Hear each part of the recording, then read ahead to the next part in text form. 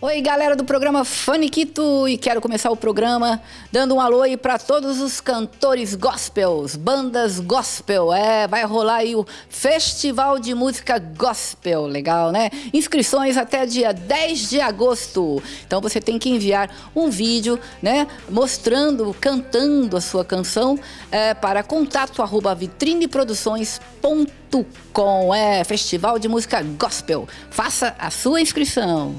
E tá rolando aí um, um pack de, de iniciativa popular aí na internet. A gente, muitas pessoas estão recebendo por e-mail, né? Um pack de iniciativa popular, que é uma lei de reforma do Congresso, né? Proposta é, de emenda à Constituição Federal, para que isso passa a fazer valer. Né? Ou seja, dentro dessa, de, desse, dessa PEC né, de iniciativa popular, é, tem é, como mudança, né? Por exemplo, ao congressista, né? O, o povo, né? Os deputados lá, né? Os forgados, os ladrões, né? Que uma da, da primeira emenda seria que o congress, congressista é, será assalariado somente durante o mandato. Não haverá aposentadoria por tempo de parlamentar. Bando de folgado, né? Como segunda emenda, o Congresso, os congressistas, os seus os funcionários tem que contribuir para o INSS. Toda a contribuição, passada, presente e futura, para o fundo atual de aposentadoria do Congresso passará para o regime do INSS. É, imediatamente, os senhores congressistas participarão dos benefícios dentro do regime do INSS, exatamente como todos nós brasileiros. Como terceira emenda, os senhores congressistas e assessores devem pagar seus planos de aposentadoria, assim como nós, como nós, todos os brasileiros também pagamos e vocês também têm que pagar, não tem que ter regalia não, tá pensando o quê? E como, como quarta emenda, aos congressistas fica vedado aumentar seus próprios salários e gratificações fora dos padrões do crescimento de salários da população em geral, da população do povo, da população dos brasileiros. Como quinta emenda, o Congresso e seus agregados perdem seus atuais seguros de saúde pagos pelos contribuintes e passam a participar do mesmo sistema de saúde do povo brasileiro. Muito folgado, vocês são muito folgados, é.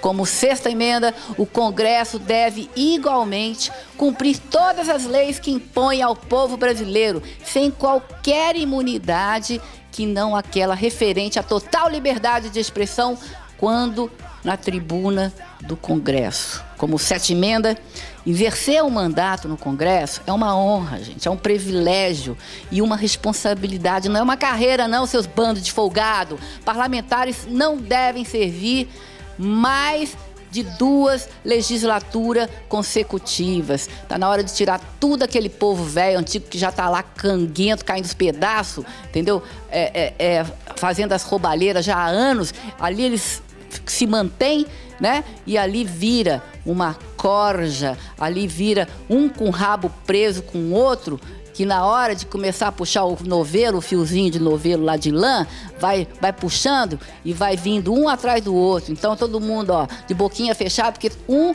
tem rabo preso com o outro. É isso aí. Como oitavo mandato, é vedada a atividade de lobista ou de consultor quando o objeto tiver qualquer qualquer laço, qualquer ligação com a causa pública. Tá aí, gente. A hora é para essa PEC, essa proposta de emenda constitucional tem que ser agora. É assim que a gente pode consertar o Congresso. É assim que a gente pode consertar o nosso país, certo? Tá rolando aí na internet, todo mundo tem que assinar procurem aí, eu não lembro se a gente. Vou ver se tiver, a gente marca aqui no, no GC aqui embaixo, mas vocês têm que ir lá e assinar para que isso, que essa mudança ocorra já. Esses 20 centavos, essa coisa da tarifa do ônibus foi a gota d'água, né? Vocês acham que tudo isso aconteceu só pelos 20 centavos? Não, não, não. Tá aí, ó. Copa da FIFA foram 33 bilhões de reais. Eu não consigo nem imaginar. É tantos bilhões, meu Deus do céu. Corrupção, 50 bilhões de reais de corrupção. Olimpíada, 26 bilhões.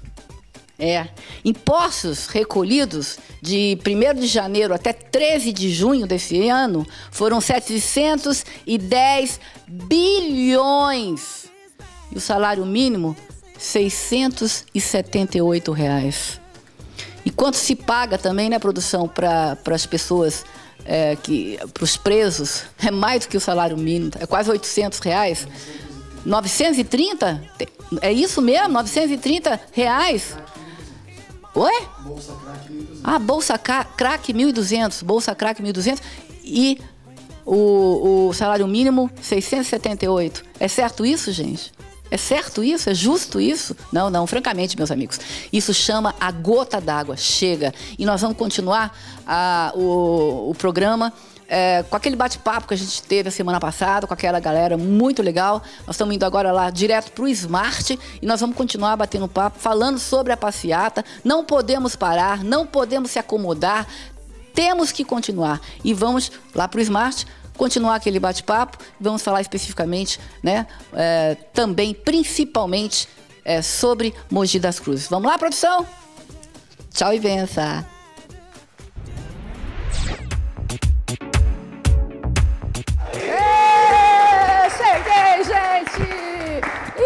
Ixi, tá faltando dois aqui. Tá faltando o Everton e a Maria Luísa, né, gente? Ah, ah, oh, que peninha. Bom, por algum motivo, né? Hoje tá chovendo lá fora, chove chuva, chove sem parar, mas eu vou é, apresentar novamente para quem não assistiu o programa, que hoje é uma, uma sequência do programa da semana passada, porque é um tema muito rico, falar sobre passeatas, manifestos, é, sobre política.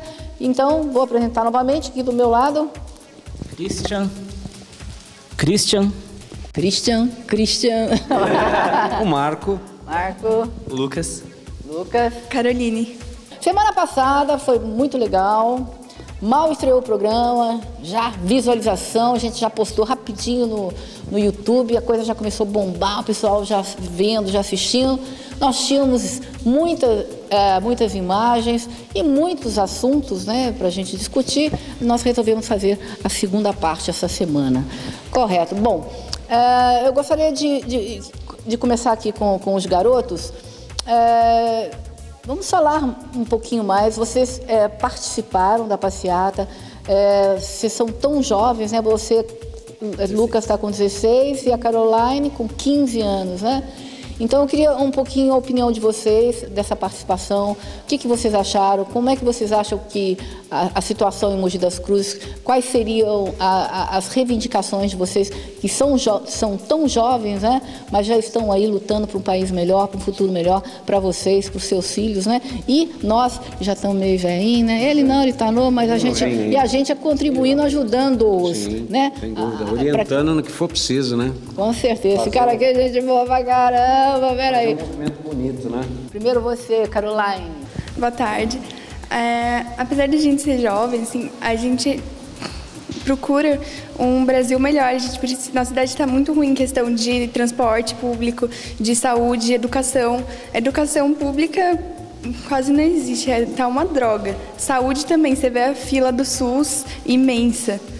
E transporte está com a qualidade horrível, assim, tipo, precisa mesmo investir nisso para o Brasil ficar melhor. Por isso, para quem sabe um dia acabar virando um país, é, uma superpotência, né? Porque tem é um país grande, ser, né? tem tudo e é isso que está faltando. É, é verdade. Você, Luquinha? Bom, é, como, como ela já disse, né? A fila do SUS, a educação é horrível. Não só em Mogi, mas acho que no Brasil inteiro a educação está horrível. Ah, a saúde, o, o, transporte, eu fui ver os impostos né, que são arrecadados. Vai uma parte, eu não, acho é, eu não lembro a porcentagem que vai para o transporte, e você vê assim, de milhões que é arrecadado é, com impostos, uma porcentagem vai para o transporte. Só que você não imagina isso no transporte, porque o, transpo o nosso transporte público é tão precário que não há investimentos como a prefeitura diz. Uh, o SUS ele tem, é horrível, assim. Não tenho que falar do SUS. Acho que é, é a falta de preparamento, não só dos médicos, mas dos atendentes, de todo mundo, porque você pega, chega ali, tá um rebuliço, ninguém consegue se arrumar em lado nenhum. Então isso é horrível, assim. Na verdade, o, o SUS é, não é, é problema do governo, né? É o problema do governo, porque se o governo não passa verba, não tem como melhorar. Lembrando que o SUS, ele trabalha no limite dele, ele recebe doentes de toda a região de Mogi das Cruzes toda a região. Então fica impossível um único hospital que parece que, que por dia parece que, que recebem 3 mil doentes que eles atendem. Quer dizer, com um único hospital, quer dizer, se não tem verba do governo federal para comprar é, equipamentos, é, para comprar é, macas, enfim, né, aparelhos, então, é impossível realmente é, que a coisa vá para frente. É claro que a nossa administração deveria forçar com que isso, todo, todos, somente os deputados, os políticos da nossa cidade, é, forçar né, junto ao governo federal para que isso aconteça. O que a gente não vê, né? Vê muito é, é só na teoria, né? Ah, passar aqui para o Marcos. Boa tarde, prazer estar aqui de novo com você. É, na verdade, é, eu acho que a máquina como um todo está comprometida. Todo. Você vê que é, o governo federal não repassa as verbas é, coerentes com, a, com, com, os custos reais que se tem na, na, na saúde. Uh, já vimos inúmeras vezes depósitos com equipamentos novos é, se degradando, remédios, remédios, que são jogados fora. Hospitais dizer, que não terminaram sim, de ser construídos tá recentemente, até esqueleto, mostraram, né? só no esqueleto e o dinheiro para onde foi. Pois é. é. Então a máquina está toda comprometida. Né? É, é, aqui em Mogi não é diferente. Nós temos um, um grande hospital que é, recebe um número imenso de, de toda a região do Alto Tietê e ele não consegue é, é, absorver essa, essa demanda. demanda. Né? Então, realmente, não há como você dar saúde de qualidade se a máquina está doente, a própria estrutura está comprometida. É, né? O que eu fico questionando, Marco, esse hospital aí de Brás Cubas, fazer é fácil. Quero ver manter os equipamentos. É um desafio. Né? É, é, um desafio. É, é, é, isso que eu quero ver, porque nós precisamos de hospitais. Você vê a Santa Casa, cheia de problemas, Há quantos anos, escândalos, roubalheira, desvios que a gente vê, né, e que ficaram por isso mesmo. A ninguém, impunidade. Ninguém, impunidade, ninguém falou mais nada, né? É, é, é, é a administração ali, você percebe da Santa Casa, eu que moro em Mogi das Cruzes, desde 69 já existia a Santa Casa, é extremamente política, Sim. entendeu? Quer dizer, sem pensar no doente, sem pensar na, na, nos, nos mais necessitados, né? Então, quer dizer, uma briga de, de poder, uma briga de, de, de roubalheira, de corrupção, quem rouba, rouba mais.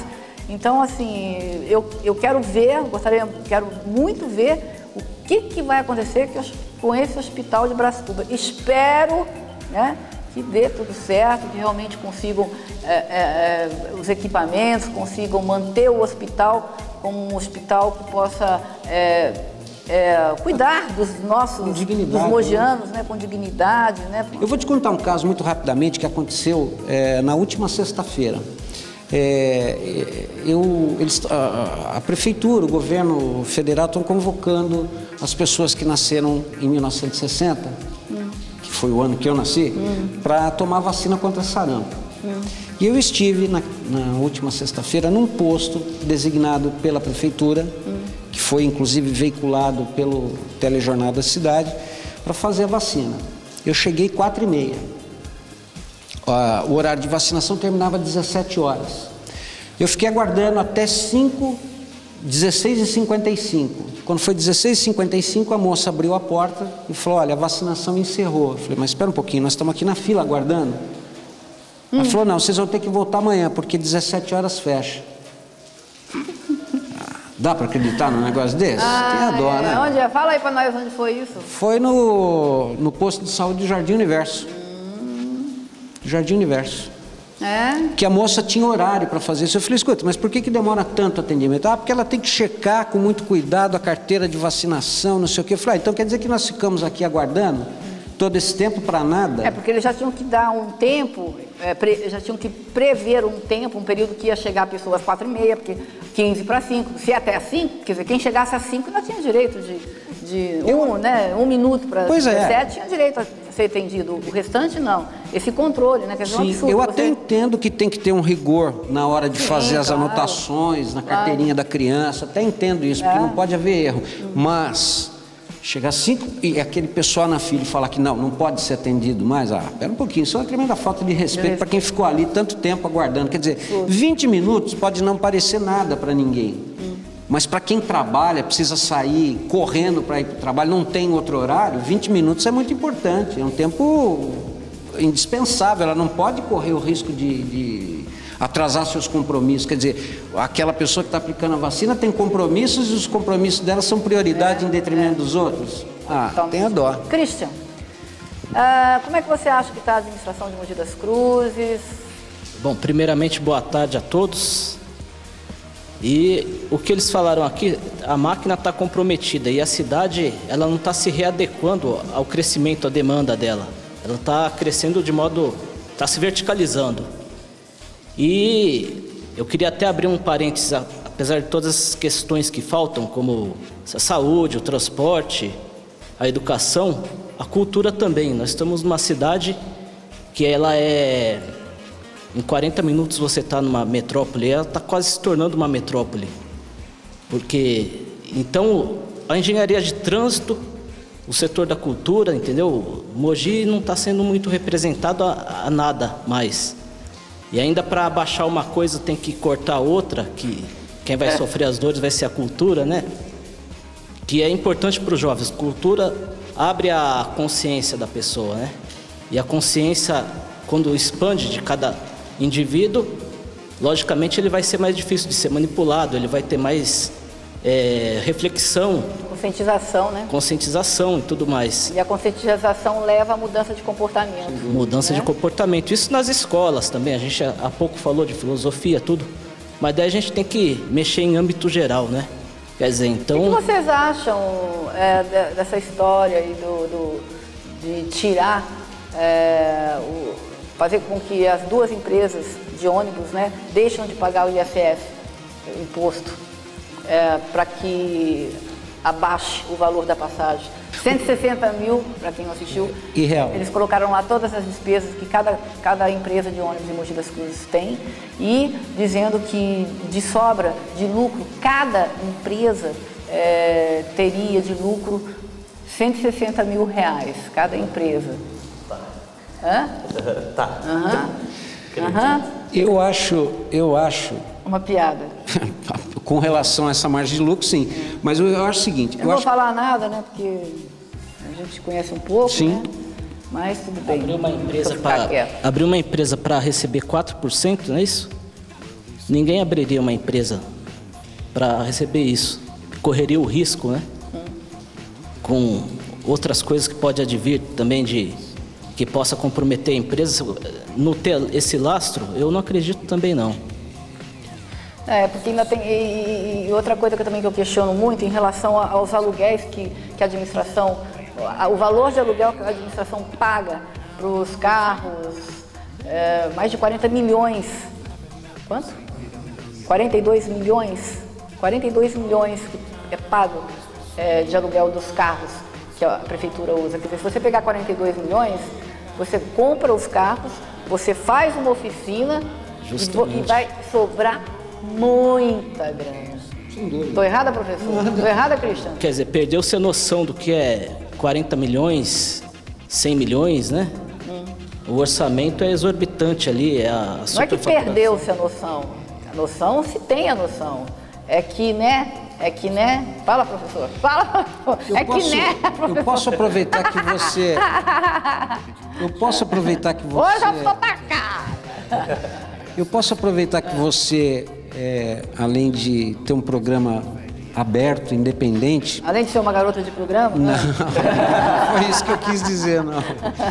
É, você, eu sei que você é professora universitária, e se você me permite o gancho, eu vou, eu vou fazer aqui um, um parêntese, tomando a, as palavras do meu companheiro aqui, do Christian. É, no século XVII existia um filósofo, existia um filósofo chamado René Descartes. Ele ficou famosíssimo pela frase célebre: penso, logo existo. Tá certo? O que, que aconteceu com esse, com o momento que nós estamos vivendo? Na minha opinião, a atual classe política acredita que nós não pensamos. Eles pensam que nós não pensamos. Porque Portanto, Descartes falava, penso, logo existo. Logo existo. Eles, classe política, Ah. do jeito que a coisa é verticalizada, é imposta para a população, eles devem pensar da seguinte maneira: eles não pensam, porém, contudo, não existem. a gente não... Tudo bem? Para esses caras, na minha opinião, É verdade. e eu posso estar errado, eu estou aqui aberto para um contraponto, mas eu acredito que eles acham que nós não pensamos. E o grande golpe. Achavam, né? É. O grande golpe foi a movimentação, a grande mobilização manifestação no no país inteiro. Isso vai acabar mudando. Tanto que, é, eu sei que nós estamos discutindo aqui o assunto de Mogi, mas eu não sei se vocês concordam comigo, no dia do pronunciamento da, da presidente, ela estava extremamente desconfortável durante o discurso. Não sei se vocês tiveram a possibilidade de assistir. Ela estava extremamente desconfortável. Ela estava vivendo um momento de intensa apreensão. E tanto que o Congresso, todas as, reuniões de gabinete que ela fez, foi para aprovar a toque de caixa medidas visando acalmar a população, como no caso do- do- da redução dos impostos para o transporte, e destinar agora, depois que a população saiu às ruas, gritando, exigindo um posicionamento diferenciado, ela resolveu dar 75% do, dos royalties do petróleo para a educação e 25% para a saúde. Isso já veio muito tarde, porque nós estamos há mais de sei lá, 20 anos pedindo isso e nada acontece. É desperdício de, de remédio, é material, materiais que são caríssimos, equipamentos caríssimos que ficam apodrecendo, jogados, enquanto os políticos vão fazer. Tem três meses de férias e vão fazer congressos em Aruba, é, na, na Europa, enquanto a população fica aqui mendigando um remédio, um auxílio, É um absurdo. morrendo em macas dentro de hospitais. É um absurdo. É complicado. Bom, ele tava falando que foi investir na educação, né? Não, é porque assim, não tem como equilibrar. Eles querem investir em prisão, por exemplo. Só que, por que, que eles vão investir em prisão em vez de investir em educação? Porque se você educação investir é em prioridade. educação, Educação é prioridade. Se você me permite, é assim. Eu sou professor da rede pública do Estado há 25 anos. Mas professor é matéria, é, é um, é, um, é um componente da sociedade vital para a sociedade. Claro. Porque sem o professor, nós não formamos médicos, engenheiros, não formamos ninguém. Nós não somos, eh, os professores, e, e eu conheço a, a militância nessa área, os professores não querem privilégios, não querem ser privilegiados comparado com as outras categorias de trabalhadores. O que nós queremos é que os nossos direitos sejam garantidos. Tudo bem? Que seja elaborado um plano de carreira, como é feito para qualquer. é. Exato. Né? O que acontece é o seguinte: o professor, a educação hoje ficou em segundo plano. O, o governo pretende fazer cadeias, mas não investe na educação. É esse que é o grande problema do nosso país. Nós estamos tentando remendar o buraco numa represa com isopor. Porque isso é uma bola de neve, isso vai continuar crescendo, crescendo, crescendo cada vez mais. Os grandes, as- os grandes cérebros do nosso país estão sendo exportados, que podem trabalhar em benefício da população. E aqui em Mogi também, Mogi é fundamental, nós temos eh, polos de, de ensino aqui fantásticos. professor é uma grande responsabilidade de você passar informações, fazer, fazer com que o aluno questione, fazer com que o aluno, que o aluno é, é, é, é, é, reivindique, que o aluno tenha é, consciência de todos os seus direitos, de todas as suas obrigações. O professor serve para que isso? Para que serve um professor? Marcos, para que serve um professor? Para, por favor. Criar mentes, Mentes que, que é, questionem. questionem, É. não é? Claro. Que, que é, procurem trazer soluções, mentes abertas, né? não só para avanços científicos, mas também para a cidadania. Nós, nós temos, nós formamos essas, esses indivíduos justamente para isso. Agora, um, um- um detalhe interessante e Cobrem, trazendo, que cobrem sim, claro. também, né? Um detalhe interessante, que já que nós estamos tratando aqui do, do problema de Mogi das Cruzes, é, é, recentemente nós tivemos uma greve do funcionalismo municipal. Você se lembra bem Uhum. disso? E o que me chamou a atenção. Falar em greve tá para estourar a greve dos Correios aí, viu? Vai ser uma greve geral, hein? Primeira mão, hein? Não sei se vocês sabem. Vai, vai. Nós vai vamos pagar estourar. juros da correspondência dos boletos que chegarem atrasados, viu? Pode se preparando. Aí o que aconteceu? Tivemos a greve do, eh, do servidor municipal. Municipal. Eu, eu fiquei, eu achei o fim da picada ver o prefeito da cidade com toda aquela postura de um verdadeiro coronel dizer para a televisão: não negocio com grevista. Ué, por que não negocia? Grevista não é bandido, isso é um direito assegurado na Constituição. O direito de greve, por que, que ele não negocia? Porque ele é o dono do feudo? Ele que não, não negocia com a vassalagem, é isso? Acho que é. Negociar? Tem que ser um rebanho para negociar, para haver uma negociação? Seria isso? Mas- Não, é, vocês têm que aceitar o que eu mando. Quer dizer, é, o, o Mogi, na minha opinião, e, e aqui eu, eu faço uma ressalva, essa é uma opinião Pessoal. pessoal minha, não, não, não, não quero, é, sei lá, é, induzir ninguém a pensar desse- da, da mesma maneira que eu, mas eu acho Mogi um curral eleitoral. Descobrir a pólvora? Descobriu o é? Brasil! Faz eleitoral. tempo que esse curral rola muitos e muitos anos que é então, assim que acontece. o coronel fala, não negocio com o grevista, não negocia. Mas por que não negocia? Porque ele não quer? Mas ele, ele tem que negociar. Ele tem que negociar. Ora, eu não posso negociar porque ah, ah, não tem verba para fazer isso. Ah, não tem verba? Então é um problema de administração. O cara não é um bom administrador. Porque com todos os incentivos que o governo federal dá, com todo o aporte financeiro, dependendo Todos das os impostos que a gente Pois, e pagamos. o cara não tem dinheiro ainda para fazer isso? Será, né? É, meio estranho, não é não? O que, que você acha, o, o, o Caroline? Caroline, chique. Fala um pouquinho, Caroline.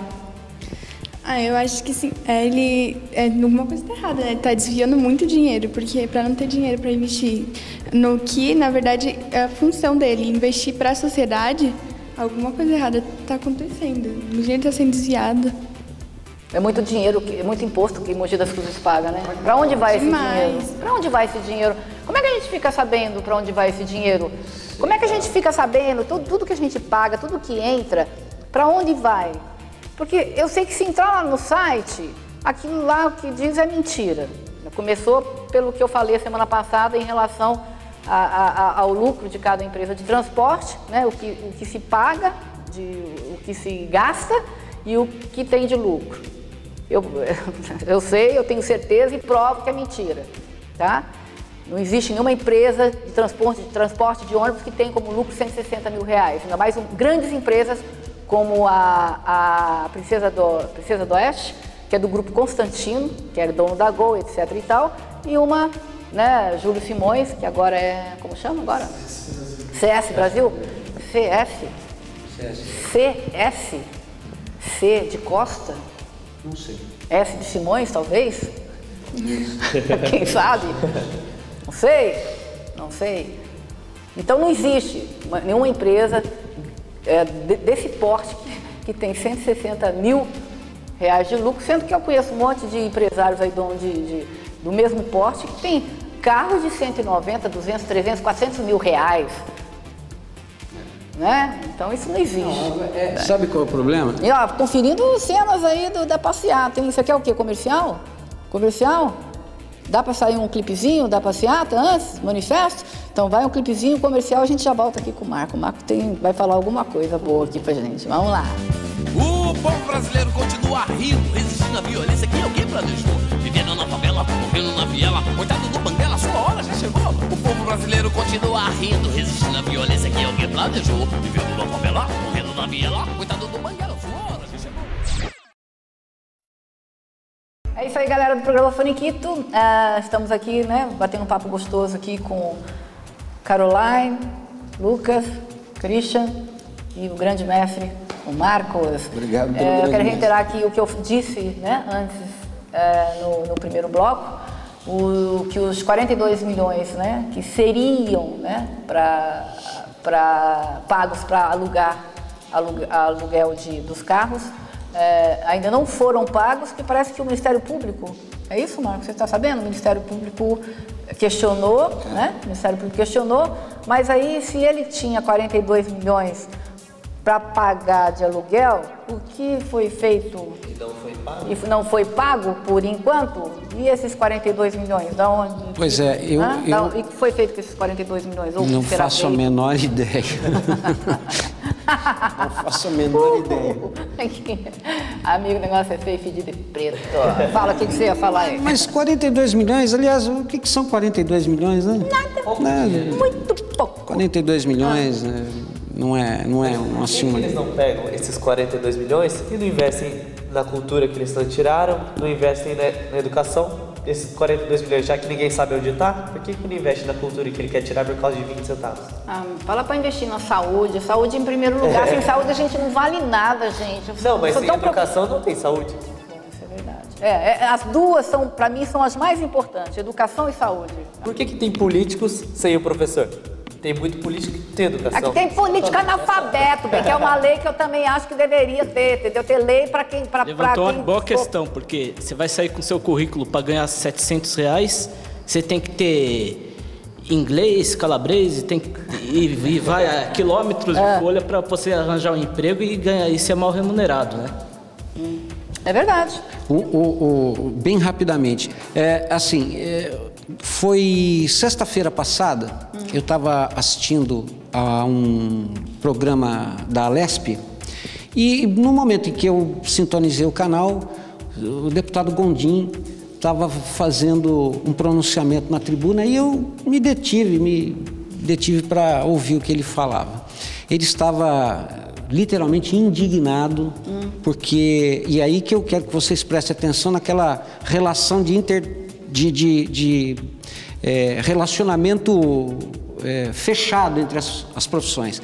Ele estava indignado, cobrando da Assembleia, dos colegas deputados, eh, eh, a votação de um projeto que era de sua autoria, de 2000, aonde ele reivindicava um salário Melhor para os médicos. melhor médicos no valor de 6.800 reais. Esse era o valor mínimo para atendimento. Ora, ele estava inconformado porque o salário de um médico é de 2.800 reais. Um professor ganha menos do que isso. Está correto? E o mais interessante que é, eu estou reivindicando pelo meu, pela classe profissional a qual eu represento, não é? Agora, ele esqueceu de falar que ele e o partido dele, quando o governo do estado retirou direitos adquiridos do professor, ele votou a favor. Quer dizer, ele contribuiu para que houvesse um achatamento, a retirada de direitos assegurados em lei, o que é inconstitucional e o governo do estado não obedece à Constituição. Ele retirou, ele apoiou a retirada dessas desses direitos e achatou ainda mais a profissão, a profissão de professor. Voltamos naquela questão do corporativismo. Voltamos na questão do eu defendo, eu legislo em causa própria. Tudo bem? Isso está errado. Totalmente é aquele, errado, Gondim, aquela que imposi- coisa feia, Gondim. Aquela Não imposição disso, vertical Ah. que eu te falei, entendeu? Aqui em Mogi acontece isso ainda. Agora, será que esse cara, depois de todas as manifestações do país inteiro, inclusive aquele péssimo exemplo de falta de cidadania que foi o quebra-quebra, o cara ainda não acordou que está na hora dele mudar a mentalidade dele, ele e todos aqueles que é, votam esses projetos absurdos de lei que relegam a educação, não é só aqui em Mogi, isso é no país inteiro, relegam a educação aos níveis Baixíssimo. baixíssimos, nivelam pelo Verdade. nível mais baixo. É, é- a minha indignação é essa. Eu não estou aqui fazendo defendendo uma categoria, a categoria a qual eu pertenço. Eu acredito que, porque os meus filhos estão vivendo essa situação de achatamento, de, de, de, eh, perda de qualidade. Como é que eu Isso é que é duro. Como é- Perda de qualidade dos, dos profissionais. Pois é, como é que meu filho vai ser um bom médico, um bom engenheiro, se ele não tem uma boa educação? E aqui em Mogi é a mesma coisa. Você pega as escolas municipais, né, principalmente aquelas que lidam com o ciclo 2 de educação, um nível terrível. É, eu tenho, eu tenho muito, eu tenho duas amigas em especial que não voltam para a escola porque elas estão, ela, só delas pensarem em voltar, elas começam a passar mal porque elas caíram em uma depressão, elas tinham medo de voltar ah, em sala de aula. Pois é. Elas estão até encostadas porque caiu numa depressão de, de- o tratamento, elas tinham medo de ir para a escola porque o- a maneira como Violência. é violência, exatamente, entendeu? Agora, gente- eu queria muito saber é, a opinião de vocês é, no contexto geral, né, qual seria uma maneira da gente é, parar? O que eu percebo que existem políticos que estão lá no poder anos e anos e anos, que na verdade têm como profissão políticos, né? O que poderíamos fazer para que mude isso, assim, que vire do avesso, que tenha uma mudança radical é, é, é, lá em Brasília é, e em todas as- as cidades, em, em- o qual se mantém, né, as mesmas pessoas, o que você chamou aí de Coronel. de- né, os mesmos coronéis mandando há anos e anos. O que se pode fazer? O que se pode fazer? Então, do vitimismo, da cultura do vitimismo, houve um levante. O brasileiro estava sentado no baú, com seus sonhos, seus objetivos, aquilo começou a feder, vamos dizer assim. E nem ele está aguentando ficar no ambiente, nem as pessoas que estão do lado dele, filhos, parentes, amigos. Eu preciso me mexer. Então, vamos dizer assim, os políticos folgaram mesmo, pisaram no orgulho mesmo da, com, com esse disparate de gastos e tudo, e o povo, com meio de informação aí, rodando pela internet, Acordaram para a vida. é, nós, não temos, nós, nós não temos acesso à cultura, mas nós se juntamos e fi- ficamos solidários um com o outro, trocamos figurinha aos jovens ali, ó. Você viu o que aconteceu no YouTube? Vou passar o vídeo e tal. E a gente se reuniu como povo mesmo. E de vitimismo, a gente está fazendo com que a situação contrária trabalhe a nosso favor. Eu estou muito otimista com relação a isso. No meu tempo, eu, eu era um nerd. Ah, poxa, o cara não fala na classe, o cara não zoa, entendeu? E o esperto era aquele que bagunçava. Até na faculdade, na aula de inglês, que meu sonho é falar inglês fluente, estou chegando lá. 70% da classe, aula de inglês à noite, sexta-feira, na faculdade. 70%, 80%, vamos tomar cerveja. E eu queria aprender o tal do inglês, outras matérias de humanas ali, de comunicação, e não podia. E agora eu tenho certeza que os jovens, até mesmo aqueles que já passaram da maioridade, estão conscientes e os, que estão sentados nos seus objetivos e tem que abrir a tampa do baú e colocar para fora para o mundo ver. O que efetivamente poderíamos fazer para que, que a gente acabar com a corrupção, para a gente acabar com, com, com essa roubalheira, com é, é, a impunidade, com todas as coisas erradas que hoje temos. Né? Mas eu acabei de Visível responder. A olho nu. A conscientização do povo. O povo buscar por si ser um autodidata, já que ele não depende só do governo. Antes a gente tinha um governo paternalista, hoje não. Hoje o povo vai em busca. É ir em busca, eu- é a única solução que eu vejo. Se o professor possa dar mais um, você possa dar mais um. Só não gancho. pode também haver uma apatia. Eu estou com muito medo aqui em Mogi das Cruzes. Teve aquela última do dia 21, agora parece que está todo mundo se murchou. É, impressão não pode perder o gás, gente. Ah, cadê o tesão? Cadê o tesão? Ah, não podemos, né? Tá todo mundo continuando. Vamos Porque que daí vamos. se esfriar, se baixar a poeira, Ah, vem, vem os gringos aqui, vê a Copa. Nós temos que é, não pôr a sujeira para baixo do tapete. Temos que tirar a sujeira, e limpar. limpar o máximo que a gente puder. Claro que em um ano Lê, lê, lê. nós não vamos poder fazer o que em 500 não fizeram, né? É verdade. Mas vamos melhorando, vamos mostrando para o mundo. E eu acho interessante que a gente está inspirando outros países a correr atrás. Claro. Nós estamos virando uma inspiração e isso é, é muito positivo. vendo por esse lado da moeda, né? Com certeza. Marcos?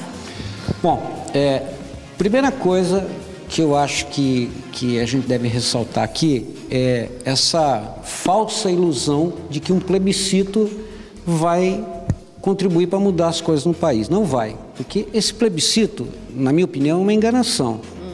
Porque não é o povo quem vai decidir, fica a critério do Congresso Nacional fazer as mudanças que têm que ser feitas. Tudo bem? Esse plebiscito é para acalmar a população, tá certo?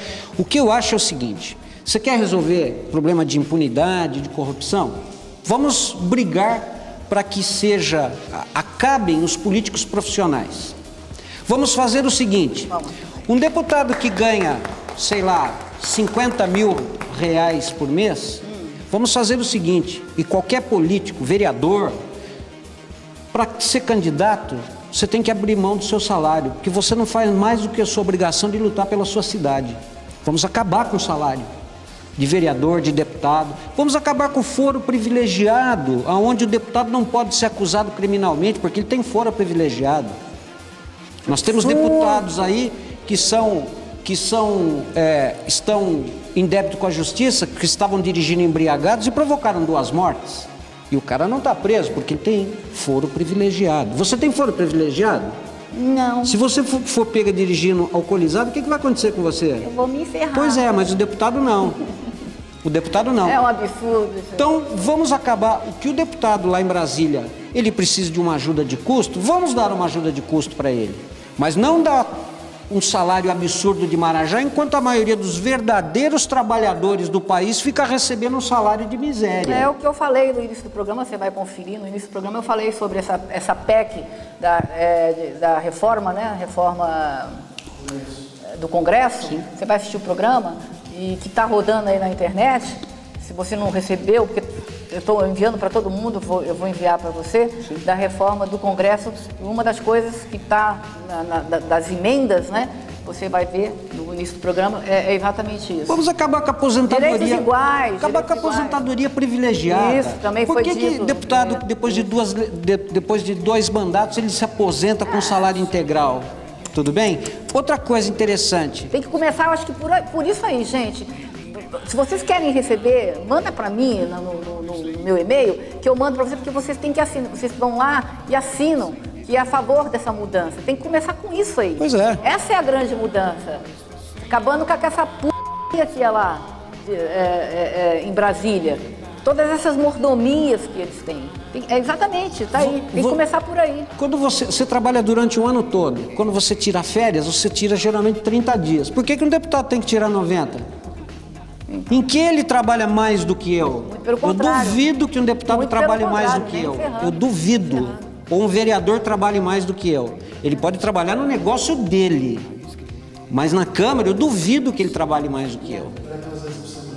Pois é, trabalha duas vezes por semana quando tem votação. Porque quando não tem votação, ele não vai à Câmara e recebe. Agora, É experimenta. parece que tem um plenário, cada plenário ganha mil, mil quinhentos e pouco, mil quinhentos, mil. Cada vez que eles vão nesse, nessas reuniões extras, que é depois das 18 horas, parece que eles ganham também, né? Mil e mil, mil quinhentos, mil e pouquinho. E reais. normalmente quando, principalmente na Assembleia. Legislativa, quando a votação é muito polêmica, vota-se à noite visando prevenir os, as manifestações na frente da Assembleia e com o adicional noturno, isso, dobrado. isso. Aonde que um deputado trabalha mais do que Percebem, eu? gente? Percebe onde que tem que começar a mudança? Todo mundo tem que pegar nisso aí, ó, nessa, nessa reforma. É, um- é PEC de reforma do Congresso, das leis é, é, que, que é para reger em, em relação a esses políticos, tem leis totalmente diferenciadas, onde eles que resolvem tudo, eles aumentam seus próprios salários. Isso tem que mudar. Isso tem que mudar. Foi o que eu falei no início do programa. Se não assistiu o programa desde o começo, assiste outro dia, durante a semana, que vocês vão ver. Tá, tá, tá, tá andando aí essa, essa PEC para que seja, seja feita essa mudança. Se você não recebeu, fala comigo que eu envio para todo mundo. É só assinar lá, entrar e dizer que está de acordo. É essa a grande mudança, é essa a grande sacada que a gente tem que ter e, e, e fazer para começar a grande mudança nesse país. Sim, sem dúvida. E a segunda trocar todo mundo que tá lá em cima. não Sem é? dúvida, aprender a Hã? votar. Aprender a votar. Vamos tirar os políticos profissionais que fazem N promessas e não cumprem 1% daquilo que, que prometem e vamos fazer uma renovação. E como é que aprende a votar? Investindo na Educação. Aí. Educação. Ah. Agora, só um detalhe interessante que, que eu acho que é importante a gente deixar claro aqui para o público que nos assiste. É o seguinte: se você pegar, você falou uma coisa importante com relação ao aumento, a votação de aumento dos, dos salários dos deputados. Eles votam nos aumentos dos salários. Para você ter uma ideia, o gasto do Congresso Nacional supera a arrecadação de muitos municípios Sei. da federação. Sei, ô. Tudo bem? Não duvido que supere, por exemplo, a arrecadação de uma cidade como Mogi. Sim. Agora, com todos os problemas, a questão importante aqui para nós discutirmos é essa: com todos esses problemas, essa prática ainda é feita, continua sendo feita aqui em Mogi. Ora, se eu não tenho dinheiro para investir em educação, em, em cultura, em arte, em transporte, né, que é uma obrigação, é um dever do poder público, como é que esses caras arrumam dinheiro para aumentar os seus próprios salários? É verdade. Da onde surge esse dinheiro? Não sabe, não? Não. Fala, meu amor, coisa linda. Bom, pra mim, juntando com o que o professor falou, é basicamente é saiba em quem você está votando. Simplesmente isso. Se você souber em quem você está votando, você vai mudar, querendo ou não. Por quê? Porque tem muita gente que fez graça aí na última eleição votou no Tiririca.